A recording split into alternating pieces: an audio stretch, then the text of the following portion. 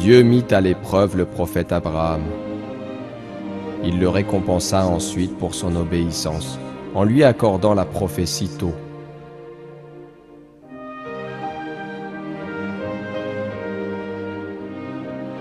Le Coran le présente ainsi.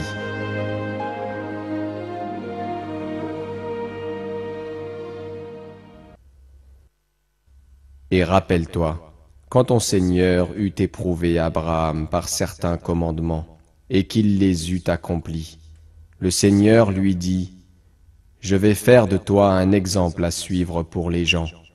Et parmi ma descendance, demanda-t-il, Mon engagement, dit Dieu, ne s'applique pas aux injustes. Dans le Coran, Dieu révèle qu'il a donné le livre et la sagesse au prophète Abraham et à ses descendants. Envie-t-il aux gens de ce que Dieu leur a donné de par sa grâce?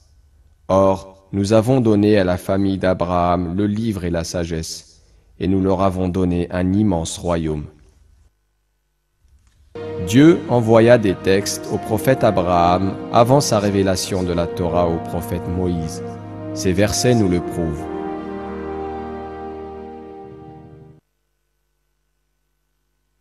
Alors que l'au-delà est meilleur et plus durable. Ceci se trouve, certes, dans les feuilles anciennes, les feuilles d'Abraham et de Moïse. Une autre question à propos du prophète Abraham a de tout temps soulevé le débat. De quelle religion était-il? Les juifs le considèrent comme étant juif, les chrétiens aussi. À la différence qu'il aurait suivi le prophète Jésus alors qu'il est venu après lui. Tout ceci est faux. La réponse est clairement donnée par Dieu dans le Coran.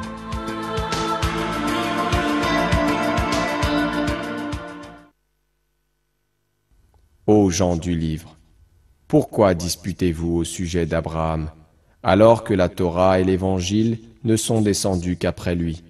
Ne raisonnez-vous donc pas Vous avez bel et bien disputé à propos d'une chose dont vous avez connaissance. Mais pourquoi disputez-vous des choses dont vous n'avez pas connaissance? Or Dieu sait, tandis que vous ne savez pas. Seul le Coran dévoile l'entière vérité.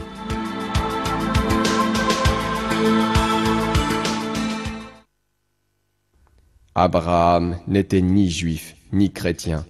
Il était entièrement soumis à Dieu, et il n'était point du nombre des associateurs. Dans le Coran, le prophète Abraham est qualifié de Hanif. Le terme Hanif s'emploie à l'égard d'une personne dévote, droite, vertueuse, soumise à Dieu et fidèle à sa religion. Sa foi en l'unique Dieu et sa soumission à lui font du prophète Abraham un Hanif. À travers un autre verset, notre Seigneur ordonne au prophète Muhammad sallallahu d'obéir à la religion du prophète Abraham. Puis nous t'avons révélé, suis la religion d'Abraham qui était vouée exclusivement à Dieu et n'était point du nombre des associateurs.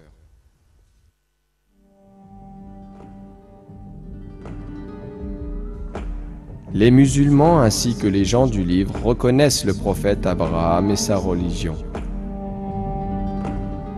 Les membres des trois religions révélées sont tenus, en effet, de croire et de servir Dieu à la manière du prophète Abraham.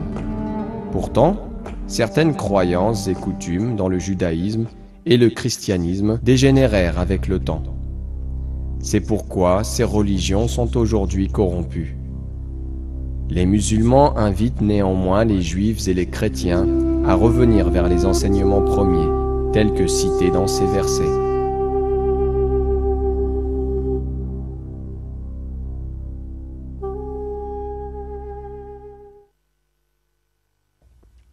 Dis, ô gens du livre, venez à une parole commune entre nous et vous, que nous n'adorions que Dieu, sans rien lui associer et que nous ne prenions point les uns les autres pour seigneurs en dehors de Dieu. Puis, s'ils tournent le dos, Dites, soyez témoins que nous, nous sommes soumis.